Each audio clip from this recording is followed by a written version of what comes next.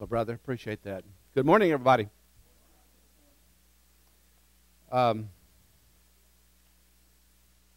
all praise and honor and glory goes to God for whatever's done that's good in life.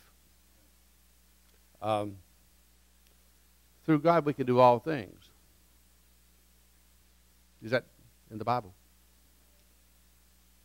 And we're going to talk about today distorted thinking. We all have it. I've been teaching it for years and I have it. okay?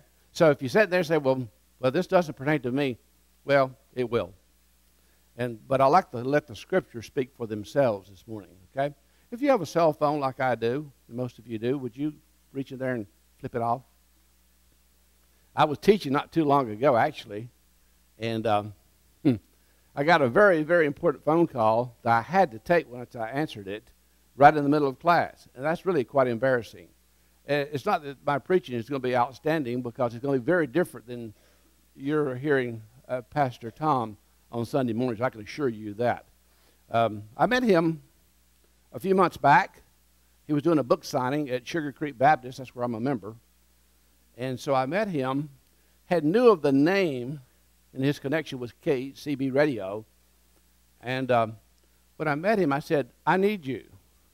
And that kind of startled him to begin with. I said, There's some things that you know that I don't know that I need to know. And you can help me. And from that very beginning, we have had a very close relationship. And now he is the academic dean for the school. So not only do we meet on a casual acquaintance basis, but because of his expertise in certain areas that we needed at the school, we have now partnered in a great partnership to bring uh, to the actually uh, by next year to the world through uh, the internet opportunity for people to come through our school and get certified and get a degree. And actually, you get a degree in 25 weeks. And we're the first to ever do anything like that. So we're doing on the cutting edge of many, many things in Christian education. And that's where I come from, is Christian education, because that's what I've been involved in for over 30 years. And, um, but today I want to talk about something that's very uh, close to my heart. And I'm going to be here for a little bit, but I'm very interactive. So if I'm down there with you, just know that I'm going to be down there with you in a little bit. That's just the way I am, okay? Uh, I think a teacher needs to be involved with the student. And I think a preacher needs to be involved with the congregation. Do I hear amen? I mean, if you're in a hospital, do you want him to come by and visit you or not? You want to be involved with you? You want him to come by and visit you? And so I'm going to be visiting with you today. But I want to be up here to give you a little background how this particular subject developed. Some five years ago, um, one of my students was like the founding member of a church they grew over the years to, I think they had around 1,500 people in the service that I preached at.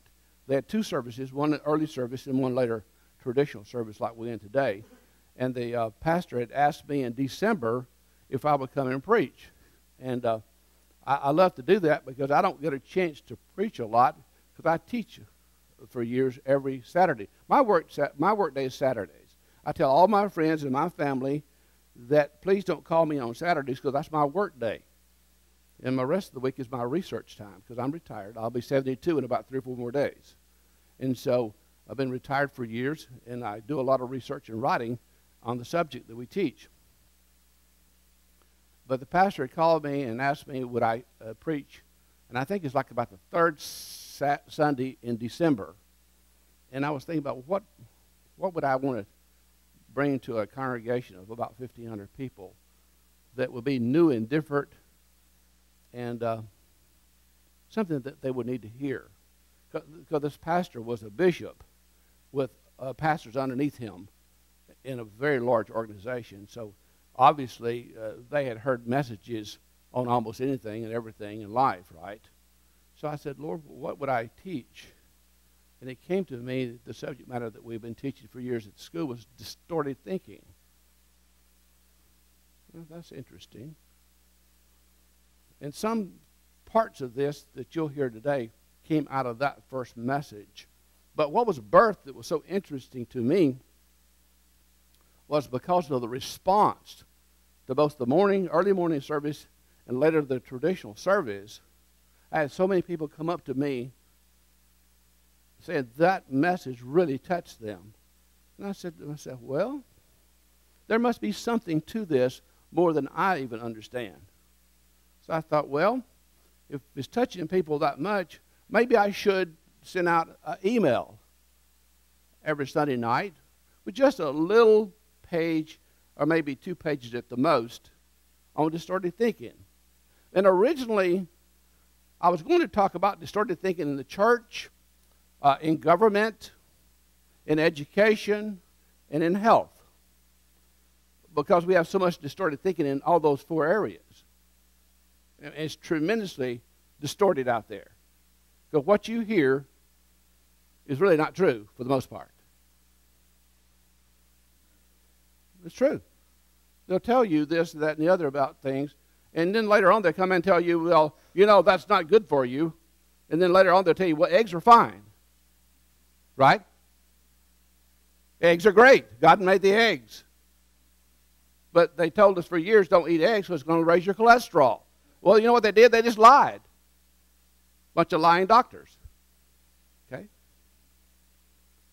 So, but when I got into studying the scriptures on distortions in the scriptures, I sent out an email every Sunday night for one year. It's 52 emails.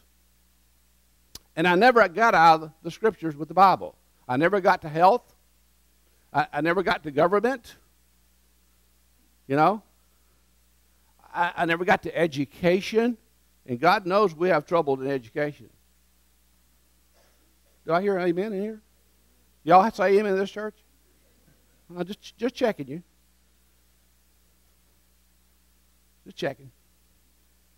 And uh, because it was so much distortions uh, that I found in the scriptures that we believe is true, but the Bible does not support it even close to it. But we believe it because we've always been taught that. So for the next few minutes, and we'll get out by 2 o'clock at least. I thought that's for those who were sleeping. Um, and, we're going to have some scriptures on the, on the uh, screen. But I want you to get out your Bibles. Who's got your Bible? I like to see Bibles. Raise it up. Let me see your Bible. Yeah, this is the Bible church. Tom's done a good job. See? Tom's done a good job. I'm going to leave my phone down here. Now, y'all don't let me forget my phone, okay? Because my wife will ask me, Where's your phone? Okay, and I say, I left it at church. I don't want to do that. Um,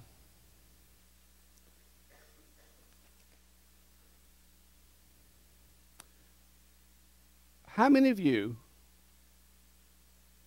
when you were a child, had asked your parents for a bicycle for Christmas? Raise your hand. Did, you're smiling. I like that smile you have, brother. How, how old were you, and what color was it when you got that bicycle?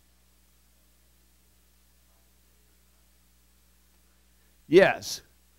Now, were you looking good on your? Were you pedaling? Were you looking good pedaling that bicycle, uh, a green bicycle? Was it after Christmas? Christmas. Yeah. Now you can can y'all see him? Is an eight year old with a new bicycle after Christmas. I mean, you were looking good in, in the neighborhood. I guarantee you, other kids will look at your new bicycle. Now, I'm making a point, so y'all just stay with me. It's okay. Okay. So we're going to look at a scripture, Ephesians 1 3. Get your Bible out. Y'all, y'all got your Bible there. And I think Laura's going to put it on the screen as well. So we're going to read that scripture, and we're going to look at that in relationship to this new bicycle. Because it's very, very interesting. God gave me this analogy uh, several years ago, and I use it in these, these two services, and it really rang true um, to these people.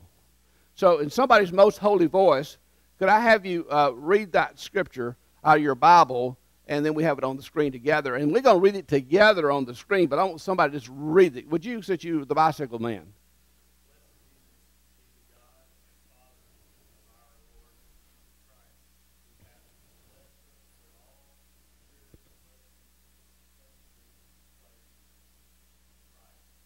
Okay, let's read that together, can we? Do it together. Blessed be the God and Father of our Lord Jesus Christ, who has blessed us with every spiritual blessing in the heavenly places in Christ. Now, it's something very crucial that we have not been taught very well at all, unfortunately. When we read the scriptures, we need to be aware of the verb tense. Everybody say verb tense? The verb tense is crucial. So the verb here is what? Who has blessed. So when you're reading the scriptures, you want to take a pen, a highlighter, you know, something, circle it. But if it's a past tense verb, it's something you already possess. Is this true? If you have it, you have it. Everybody say, I have it. You, ha- you have it because the word says you have it. So, what do you have? You have already been blessed in Christ Jesus with what? Ever. Not some. Every spiritual blessing. Now, here's what we do in church because that's what we've been taught. We ask God to bless us. True or false? How many of y'all raise your hand has asked God to bless you? And your family, and the missionaries, and the pastor, and the sick, and on and on and on and on, we go. Every day. Thank you. That's because I'm going to the bicycle in a minute. Thank you. Now, what would your parents say to you if the next morning you woke up and you asked them for the new bicycle? What would they say? Ah, you see where I'm going with the story? But the next morning, though, you're going to wake up and ask your parents for a new bicycle. And what are they going to say? You see what God is saying to y'all today? Get up in the morning and ride your bicycle. It's true. It's true. If you have already been blessed, then you have already been blessed. Now, here's the, here's the secret we don't take it for granted. But our prayer time is not asking, but it's giving thanks for. Did y'all get that?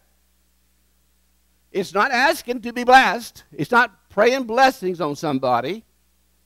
But what it is, is say, Father, I thank you today that I have already been blessed in your Son, Christ Jesus, with every spiritual blessing. That's the way I pray. Now, this sermon is not about prayer, but it is because you will understand today how to pray better than you've ever prayed in your life because you're going to pray now not for, but because you have with thanksgiving. Did you get that? Huh? So your praying every day should be with thanksgiving because you have already got it. Did I help somebody? Do I hear a big amen from everybody? One more time, just hear amen. If you've got it, say amen.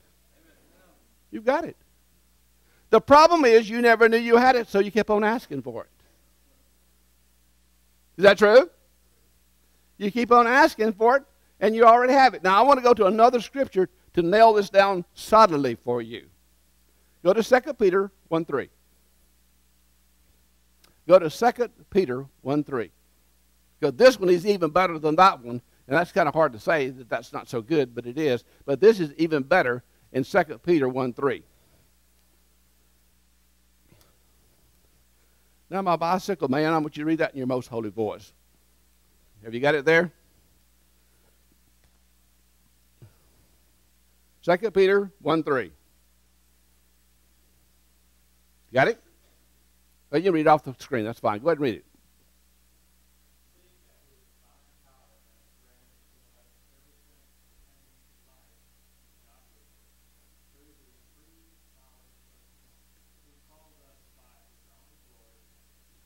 Now let's all read it together because we want to hear ourselves read this.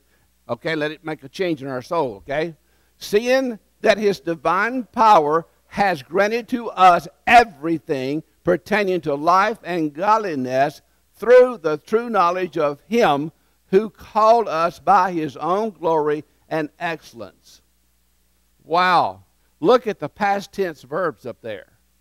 If that won't blow your socks off, come on, guys.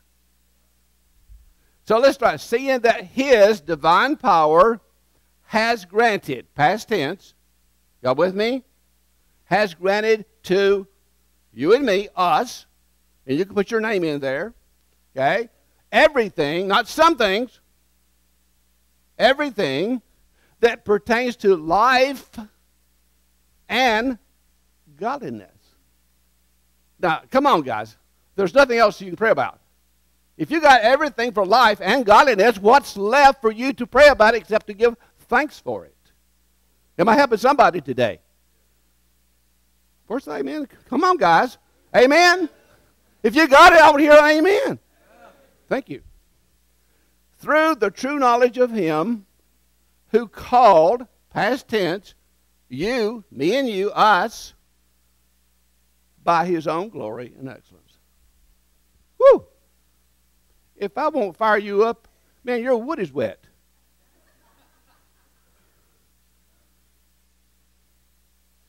In words, you've already been blessed, and you've already been given everything for life and godliness. Some of y'all are trying to get holy. Some of y'all are trying to get godly. And you already are. Wow. For some of you, that might have been a revelation this morning. Say, I already have it because God gave it to me. It was His mercy and grace.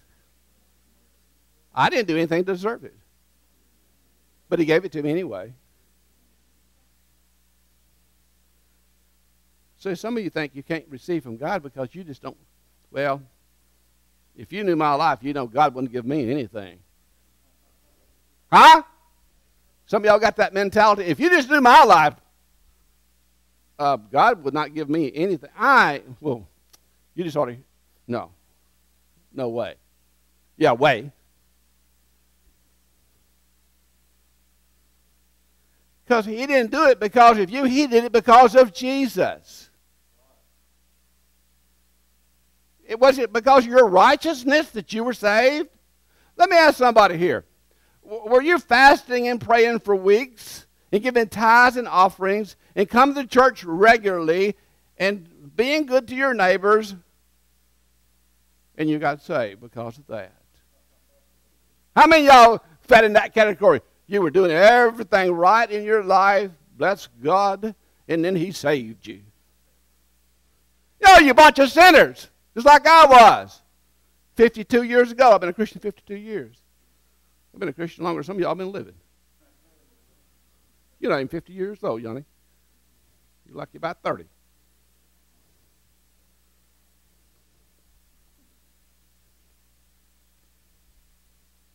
He did it. The Bible says, in that while we were yet sinners, he died for us. Is that what the Bible says? Huh? in Romans 5 8? That'd be 8 5. You know, 72, you forget which one goes first, 8 of the 5. But it's in Romans. I can guarantee you that one. Huh? But there's a real po- problem with this scripture. It's serious that we need to talk about. Oh, yeah. I've talked about the good part. But there's a part that pertains to what we do.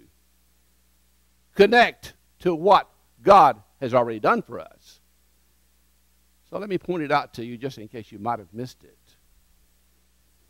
Seeing that his divine power has granted to us everything pertaining to life and godliness through the true knowledge of him, through the true knowledge of him, through the true knowledge of him, through the true knowledge of him, through the true knowledge of him. We don't know the true knowledge of him. So when we don't know the true knowledge of Him, we don't know what we have. Because everything is in Him. And that's our problem today because we're just lazy. Can I just be honest up front? We don't know what's in the Bible. We don't. That's the reason why people can knock on your door and talk about their religious stuff, and you're just as gullible because you don't know what they're really even talking to you about. Because they got their stuff down. Do they? Do they know what they're talking about? And it'll sound really great. It's the problem is it's distorted thinking. It's not really true. But it sounds right. Through the true knowledge of Him, we must know and how to apply that which God has said is ours. Because see, it's not our, it's not yours until appropriate it. Dr. Tony Evans has said a powerful thing, and I don't know if you know Dr. Evans' teaching or not. Um, he said one of the most profound things that I learned from him about 15 years ago that changed my whole life. And my whole ministry of teaching at the Institute is around these three bullets. And, it, and I don't have it on the screen, but if you've got a pen and paper, I'm going to give you a moment to write it down because you ought to write this down because it'll change your life because it changed mine. When I heard this, it really changed my life forever because he says there are three important things that you must know to live the successful Christian life. How many of y'all would like to live the successful Christian life? Raise your hand. Now let me hear a big amen. amen. All right, here it is. Number one, you must know who you are. You must know who you are. You must know your identity in Christ. Who are you? Because that's the starting point. Who are you? Okay? Your identity in Christ. Now, the best place to find that is going to be Ephesians, the first three chapters 1, 2, and 3. Chapters 1, 2, and 3. By the way, if you want God to change your life, let me tell you how I can guarantee God will change your life. Is the book of Ephesians. If there was one book I could have out of the Bible, I would take the book of Ephesians over the whole scriptures. It's called the Queen of the Scriptures, is Ephesians. There are six chapters. The first three chapters is your identity in Christ. Who are you? What do you have? And four, five, and six is now that you know who you are, this is what you go do. So it's who and do. One, two, three is who you are. Four, five, and six is now this is your do. Love your wife as Christ loved the church. Don't expedite your, your don't uh, bring your children to wrath because of the way that you discipline them. Take care of your uh, uh employees properly. Now, as an employee, take care of your employer properly. It's all in all the relationships about life is in those six verses.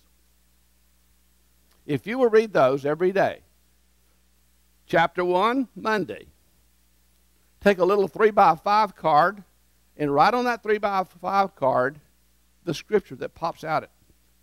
And that's your meditation scripture of the day.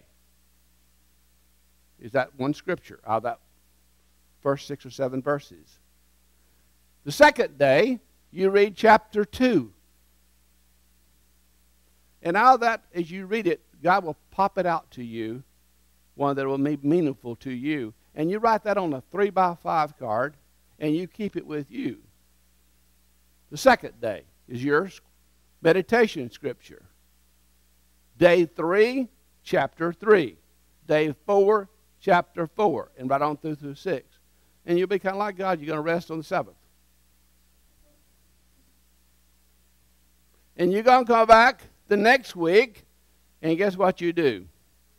The same thing. You keep rereading it. And another scripture will pop out, and it's a three by five card. This is the technique that we tell people who pay us money to learn from me. They do. They pay me very well to go to school. Is that right, Julia? She's in the. That's right. She's that's, she's paid off her credit card. But was it worth it, Julia? It was worth it, see? And it didn't cost you anything. If you don't like it, I'll give you a refund when we have the service at the end. Some of y'all caught that one, didn't you? The rest of y'all were asleep. I may be 72, but I'm not that slow yet. Okay? But if you will read the book of Ephesians till you die, God will transform you to be more like Him, I can guarantee you. Because He says He watches over His word to perform it. Did y'all know that's in the scriptures? He watches over His word to perform it. In Jeremiah.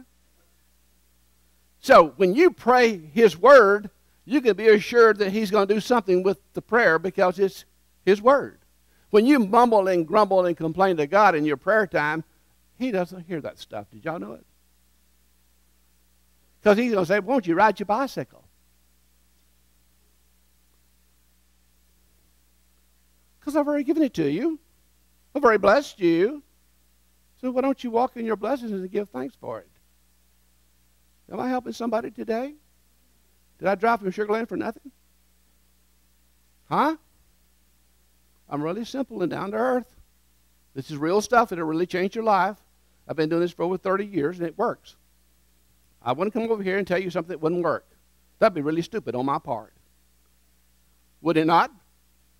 That'd be so stupid of me to drive from Sugar Land over here and tell you a bunch of stuff that doesn't work. And you tell Dr. Tom, don't ever invite that boy back. He's just about as stupid as dirt. No, I'm going to give you stuff. If you will do it, will work. Now, the rest of y'all will just say, okay, that was, that was okay. That was different. Hadn't heard that before. And you're just going with your life. You won't read Ephesians every day. You won't pray with thanksgiving every day. You'll still ask God to bless you. Bless us missionaries. Bless Dr. Tom. And this message did nothing for you or God. Zippo. You might as well slept in, in home this morning. I'm about change. Several years ago, McDonald's changed their chicken nuggets. And around this table, when they filmed these bunch of little kiddos looking at these nuggets in their basket, they always were just looking at it, but nobody would eat. It had changed. So they didn't know exactly what to do. They kept looking at it as the camera was rolling. And there's one kid, he picks up the chicken nugget. He puts it in his mouth and bites into it. He says, Mmm, change is good. And the rest of them just dug in and started eating their nuggets. Did you get the message? I hope you did. Because change can be good by eating into the Word of God. Amen? But we're, talk, we're just talking about Scripture today. Am I helping you? We're not. I don't have no. Ask you and, and when we teach, Julia, we do not have opinions. God never asked anybody's opinion down here on this earth ever. Did he? See, when, when you give people the Word of God, you act like God. When you give them your opinion, you act just like the devil. Is that amen or oh me? Huh? Yeah, I think it's oh me. Because y'all give your opinion about everything. You got an opinion about the government. You got opinion about the church. You got the opinion about everybody. But God never asked you to give an opinion. So get over yourself. It's okay. And start acting like God.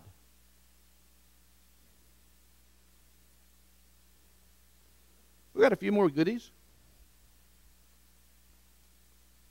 Let's go to the, the third one on our list Exodus 20, 2 through 6. Exodus 20, 2 through 6. This is another distortion that we have, distorted thinking. And I taught this 20 something years ago as the gospel. I got it from a, what I felt was a reliable source. And my re- reliable source lied like a dog. But I taught this. Um, and it just wasn't true. Because I have y'all ever heard of um, people talk about that they're under a curse? Have y'all heard that term? You're under a curse. Raise your hand. Under a curse. Under a curse. Yeah, you have. Yeah, I taught that because I was stupid. I'd got this teaching about being under the curse um, from I thought was a reliable source. And so I put it into my teaching 20 years ago, and man, I was, I was letting it rip. We all under a curse. Bless God, we need to break the curse. See, um, let me give you just a little insight about hearing preacher preachers preaching their stuff. If they preach you out of the Old Testament, not run through the cross to the other side where Jesus has fulfilled it, they'll preach you into bondage every time. There was nobody free in the Old Testament. You can quote me any time of the day. Was anybody free ever in the Old Testament? Raise your hand. You say, no. No. But see, this came out of the Old Testament that we're under a curse. And when you're born into this world, at birth you are. You're under a curse. At birth. When you're born to mama and you come out, we're called a sinner. Is that the Bible? That the Bible? But did you do any sinning to become a sinner? Were you doing any wine, women, and song? Huh? You were born. Okay? But when you are born again from above, uh, John chapter 3, Jesus talking to Nicodemus. Let's see what it says now in Galatians 3.13.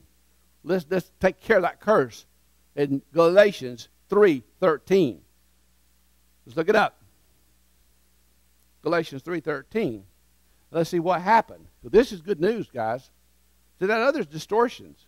That's distorted thinking when you believe you're under a curse. If you believe you're under a curse today, I'm going to tell you you can be free with this scripture coming up. Okay? Christ redeemed us from the curse of the law. Do I hear any amens? Having become a curse for us, for it is written, Cursed is everyone who hangs on a tree. And by the way, the tree there is actually wood in the, in the Greek. Everybody hangs on wood. It was a wood cross. That is a past tense verb. You see it. When you were born into this world, you were born as a sinner. When you accepted Jesus, born again, born from above, the curse was immediately right then and there broken. Amen? You are no longer under a curse. So if you have believed that you and your family were under a curse, I got good news from you from the Word of God. You are not under a curse. Is that good news? That's good news. Because there are churches who have the big, high powered pastor who comes on in a special Sunday night service, and people line up by the hundreds to get the curse broken off of their families. You may not have been in one of those services, but I go to all kinds of churches and all kinds of services. But that actually happens around the world. That pastor is going to break the curse on their family, their finances, their relationships, their marriage. And on and on it goes. And guess what? It's already been broken. All those people standing in line acting like stupid people because they don't know the Word of God. Just like I taught it 20 years ago to my classes, I thought I was doing the right thing. See, the problem is people will say, well, that's in the Word of God. I have people always talk about that all the time. Any y'all got an NIV Bible? Raise your hand if you got an NIV. Nearly imperfect version. It's terrible. They even leave out whole, whole, whole scriptures. Y'all know that? Yeah, NIV, nearly imperfect version. Let me give you a good example of that. For the book of Romans, he'll always use the word sin nature when you're talking about the word F L E S H, flesh. The word flesh in the Greek is S A R X. Write that down and go research what sarx means because it's going to really surprise you. S A R X, sarx. Sarx means flesh, but sarx does not mean sin nature. And NIV will always translate flesh or sarx from the original language of Greek to the word sin nature. You only have one nature. Either you are in Adam, lost, or you have been translated from darkness into light into Jesus, and now you have no longer an old sin nature because you now you have the nature of God. Amen? You understand that? You only have one. You don't have an old sin nature. Here's another one oxymoron. I'm a sinner saved by grace. That is the most stupid thing I've ever heard in my life. Yes, was. You're not a sinner. Because if you're saved by grace, you're no longer a sinner, are you? You know what you are? A saint who sometimes sin. Did that help somebody? When you hear the admonition from Paul to those little churches in Asia Minor, like Ephesians and Philippians and Colossians and Romans and all that, what does he start out with on the first line? I'm writing to the saints in Ephesus. Y'all know your Bible? Y'all got some gray hair here. Come on, Bible students. Don't you know the Bible? I'm writing to the saints in Ephesus. I'm writing to the saints in Galatia. Right? Is that what he says? Is that in the Word of God? Did he ever say, I'm writing to the sinners?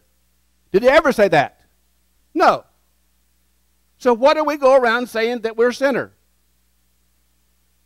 Now, if you're a sinner, I want you to come up here and I want you to get saved today. We get, get, we get take that care. We take care of that today. If you think you're a sinner, you need to come up here and talk to me today. Because you really got distorted thinking. Because you're a saint, according to what God says about you, who sometimes sin. True or false? Do y'all sin? Amen? But you're a saint. Yeah. Colossians 3 3 says, My life is hidden in Christ and God. My life is hidden in Christ and God in Colossians 3 3. Well, what is my life that's hidden in Christ and God? Well, if my life is hidden in Christ and God, it has to be perfect. Because God is perfect, sinless, holy. But what part of me is hidden in Christ is what we don't know because we were never taught that. It's your spirit.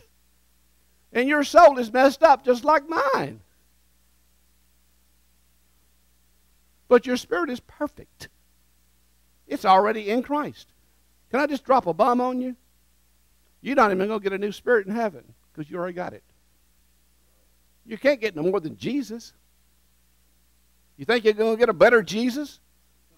Come on! I'm real. Have y'all figured out I'm real? I'm just about the Word. I have no opinions. Colossians 3 Colossians 3 3 says, My life is hidden in Christ in God. That's my spirit. But Romans is another story. Because Paul's still writing to us, and he says in Romans 12, what does he talk about? Renew your mind, that you may prove that which is good and acceptable and perfect will of God.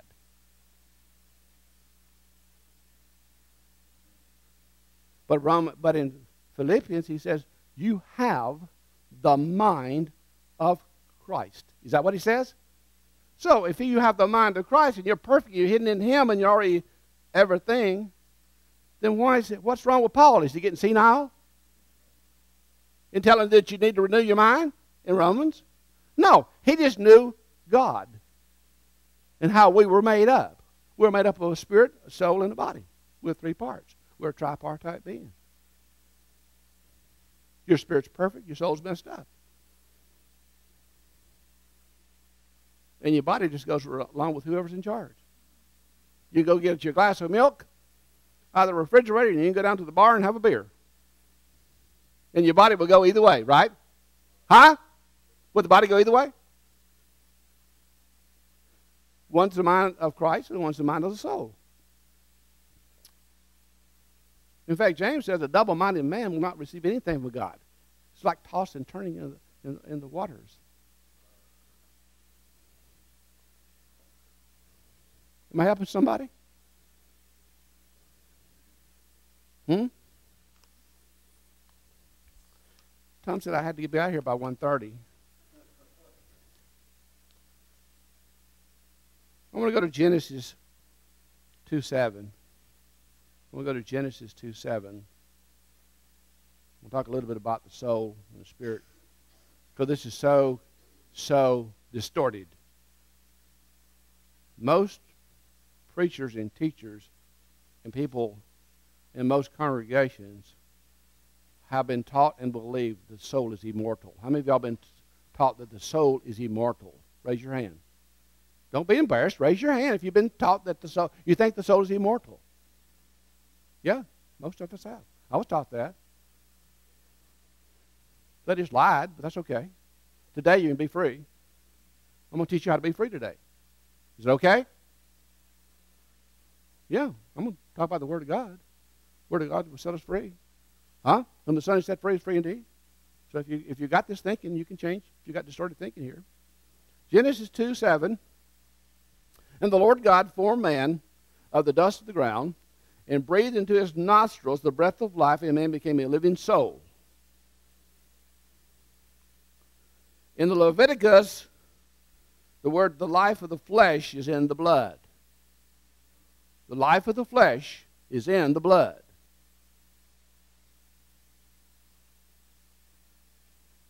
And this translation the Hebrew word is nephesh. Everybody say nephesh. Say it with me again, nephesh. One more time, say nephesh. That means that's the word in the Greek, uh, excuse me, in the Hebrew that means soul from the original. Is nephesh. Now, let me tell you about nephesh. Nephesh is what gives us the personality. It's our mind, will, and emotions. Do you know that your dogs and cats have nephesh? Same word. When you look it up in, in the Hebrew about the animals, when you look up in the Greek, it talks about the animals, it's the same word, nephesh. They have a soul. You know your dog has a soul. They'll cry over you. Huh? Your cat?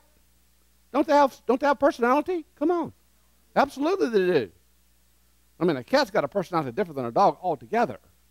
A dog will come up there and wag their tail and lick and love you, and the cat will come up and, they'll love you when they want to love you. That's a cat.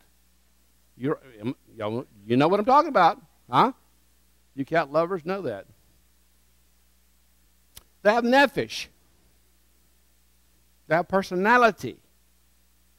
But nowhere in the scriptures, when you look up nephesh and bring it forward, is nephesh is eternal.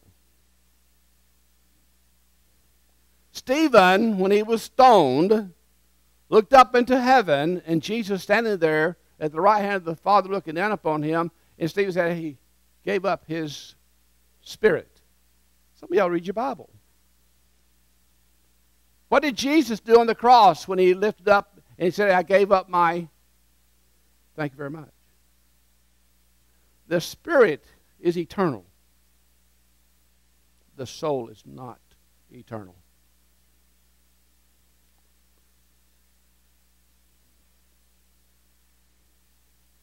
And the body will become a resurrected body at the resurrection.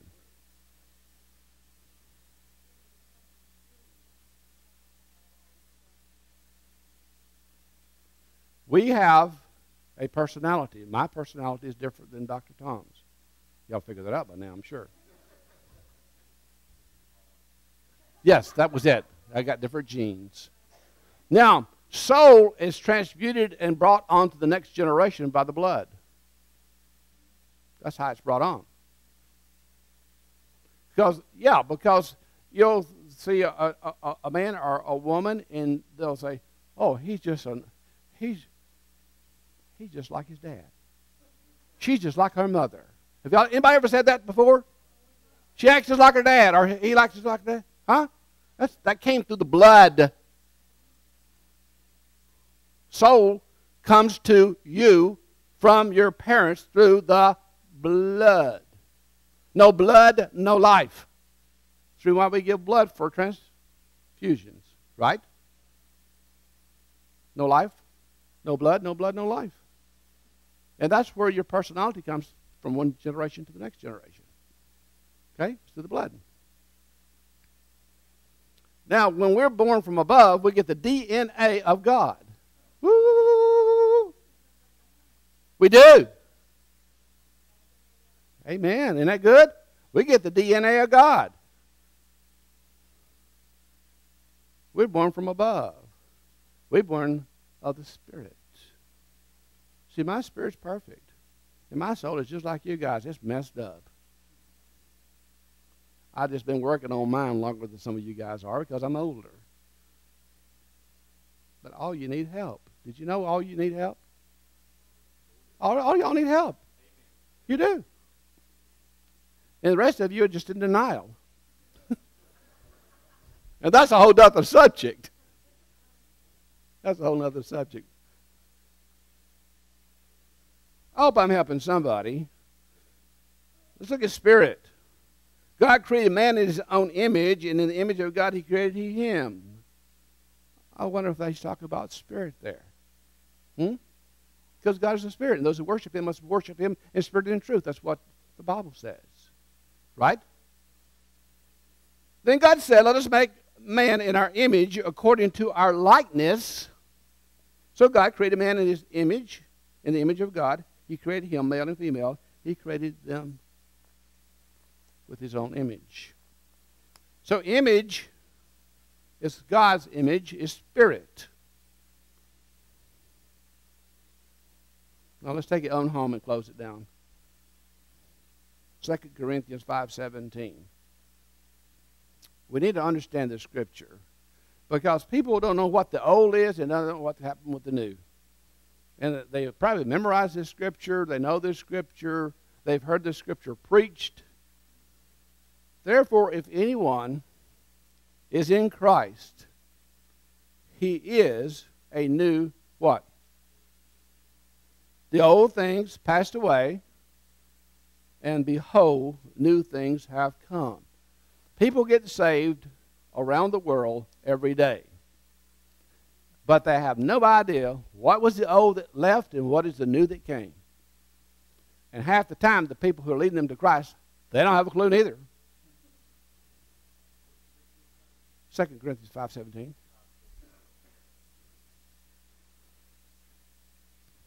So what's the old? The old sin nature that you were born with from mama. You were called a sinner. That's, that's the old. But then if you became a new creation, what happened at the new birth when you got saved from above, born from above, however you want to say it, it was that spirit that you were born with, that was what was changed like that when you accepted Jesus. Now, before you were a sinner, and now you are a saint.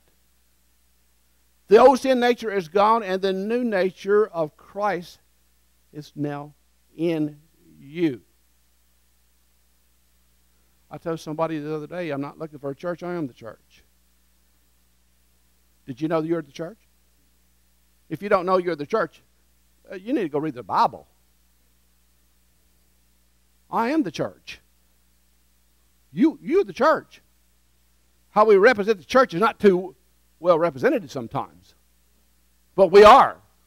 And people are looking at us, whether we know it or not, how we represent the church, the living church of God. So the old was the old sin nature. The new is your new nature in Christ. And I got to give you two more. Because these are really, really good. I say the best for last. 1 Corinthians 6, 16 and 17. 1 Corinthians 6, 16 and 17. This is excellent. Or do you not know that the one who joins himself to a prostitute is one body with her? For he says, the two shall become one flesh. But 17 is powerful, guys. But the one who joins himself to the Lord is one spirit with him. If you are born again from above, you are now one spirit with him. You don't have two spirits. You don't have no three spirits. You don't have God and you don't have your spirit. You don't have the Holy Spirit. You don't have all these spirits. Wake up! You got one. Because your spirit and God's spirit is the same spirit, and the Holy Spirit is in that spiritual arrangement. Christ's spirit lives within you. That's the reason why he says he's closer than a brother.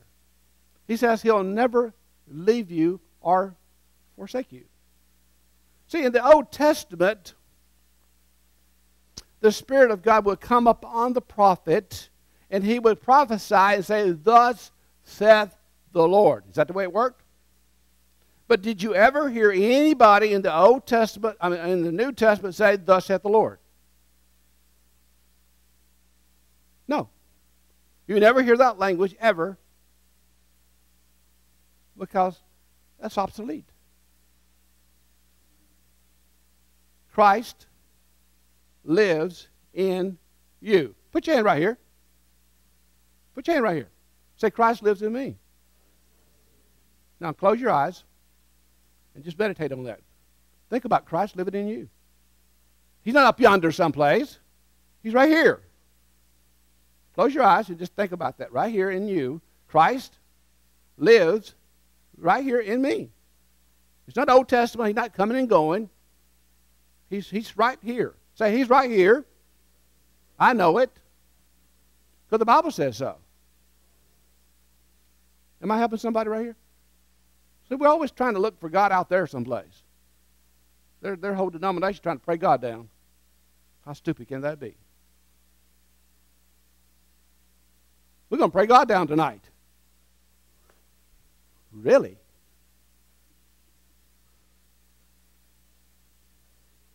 He's here. Have y'all, have y'all ever heard somebody pray uh, the anointing of God upon somebody? Y'all ever heard that? The Messiah, the anointed one, that's what he says. The Messiah, the anointed one, lives in me. I'm already anointed. Right? The reason why we don't walk in empowerment because we don't know who we are. That's what Tony Evans said. We don't know who we are. Then we don't know what we have. And here's the big one we don't know how to appropriate it. That's the third point. We don't know how to appropriate it. We don't know how to write a check and get it out of the bank. Some of y'all have not made any withdrawals in so long, it's a wonder God hadn't closed your account. Been a Christian years and years and years and withdrawn anything, just living day by day. Bless God, I'm waiting on heaven. What? Do you realize we're going to reign for a thousand years down here on earth with Christ when he comes back? You got a job to do. We're going to rule and reign down here for a thousand years. Y'all think you're going to go up there and sit around and drink coffee? We got a job to do. Ain't no retirement. We're going to come back to rule and reign. Y'all know that's in the Bible? Huh? Amen.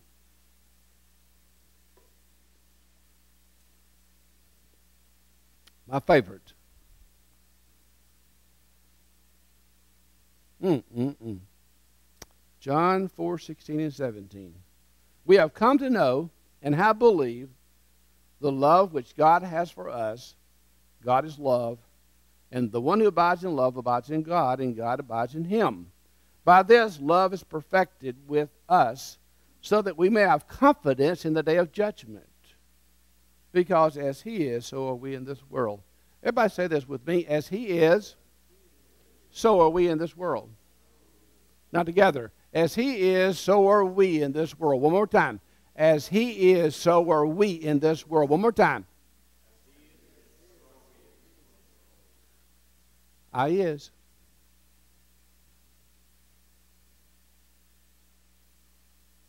That's right now. He said, Where? In heaven? Where? In this world. That's right. He's right here, right now. As Jesus is, uh, you are right now. Everything Jesus is, you are. If that won't wake you up, your wood is wet. Huh? As Jesus is, so am I right here, right now. Not in it didn't say anything about heaven, did it? He says, in this world. See, I'm Bible. If y'all like Bible, you like me. If you don't like Bible, you don't like me. I'm going to tell you. As Jesus is, so am I in this world. My question as I close is this How are you reflecting Jesus in this world? Oh, ouch. Ouch. How are you reflecting Jesus in this world? On your job? In your school? With your husband? With your wife? With your kids? Or have you just been doing like most people, playing church on Sunday? It's your duty. Bless God, I've been going to church for 35 years, and I'm there all the time. In fact, I even got those awards from Sunday school.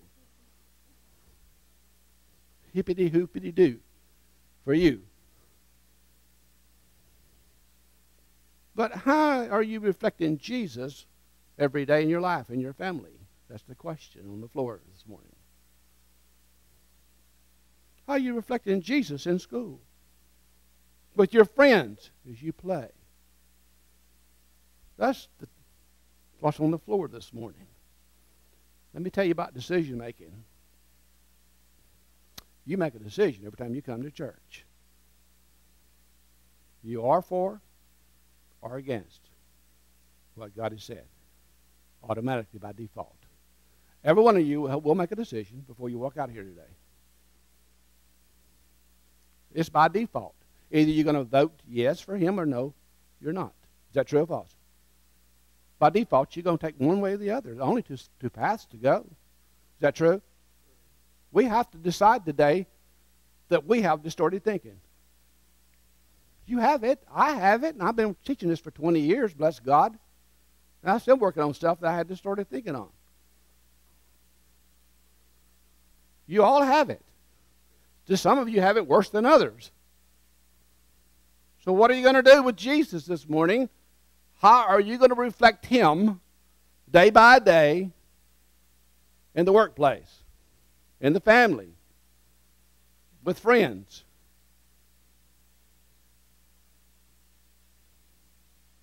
You have to come to that conclusion for yourself, as I have to come to my own conclusion about my own life.